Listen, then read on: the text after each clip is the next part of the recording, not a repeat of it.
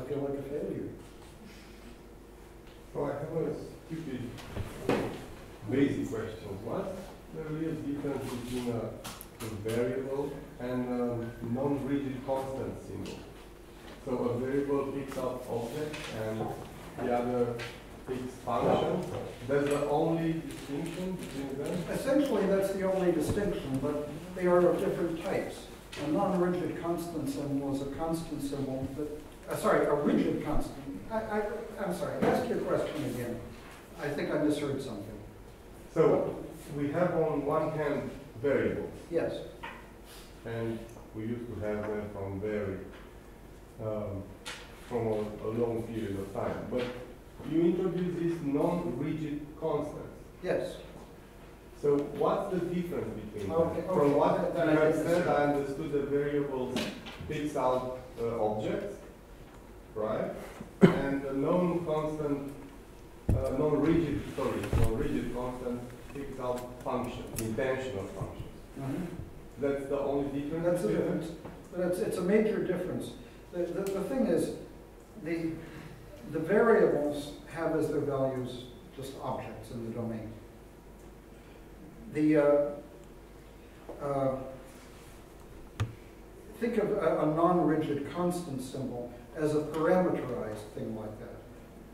What it has as its value is parameterized by the world you're in. And the machinery of modal logic, unless you do hybrid logic, has no uh, uh, mechanism for talking about the world you're in, Called what? the world you're in. Yeah. Uh, So we, we handle it by having two different types of uh, symbols in the language, one of which is world dependent, one of which isn't. But we can do that by indexing, right? By fixing something to that world. Yes, It's not the same machinery, well, it it expressed is, differently. it is the same machinery, of course.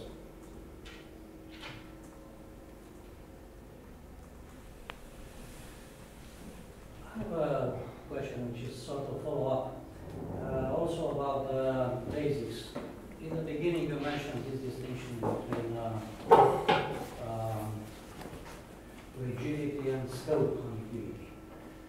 And uh, you said that the syntax should, should, should take care of this distinction between narrow and scope.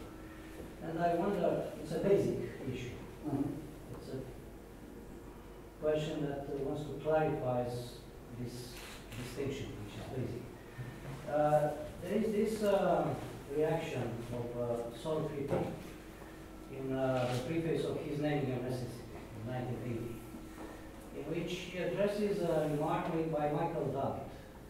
Uh, At some point, Dummett uh, implied that uh, rigidity of names could be, could be taken care of even it boils down to uh, wide scope of, uh, of names. So uh, it's the same thing to say that names are rigid and to say that in all contexts name, names take uh, wide scope. And Kripke is reacting to that, saying that the two notions are completely different and distinct notions. So what would be your take on that uh, based on the, the construction that you showed? Uh, Just a second. I don't want to imply that you made this uh, confusion between rigidity and uh, wide versus uh, narrow scope, but I would No. very happy to more. I don't know what got so upset there. I, I, I simply don't know. But you notice that's exactly what's happening here. Uh, the A here is rigid. And what I've done is to show it to be moved to wide scope. And yes, that, that you always can. Um, That seems like a perfectly reasonable observation. I wouldn't really say that wide scope means rigid. They, they, they have different, concepts, but. the different, the different concepts. But as a consequence, you can do this. But th- this is exactly it, that the, the A here turns into a wide scope. Basically, what's saying, that if I recall well, is that you can have rigidity without having the machinery of quantification. And Well, there is, haven't there is no, no distinction made in terms of wide versus narrow, but here you have the distinction between rigidity and non-rigidity. Yes, yes. But I mean, you haven't seen any quantification here, but uh, the, the, the business of scope is what's really operative. So lambda does not work as a, as a quantifier.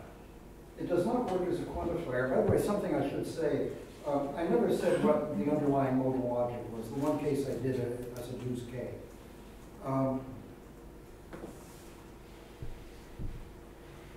If you formulate this for K or for T or for D, uh, this is decidable. A decidable uh, system. If you formulate it for S4, it's not decidable. If you formulate it for S5, it's not decidable even if you don't have equality.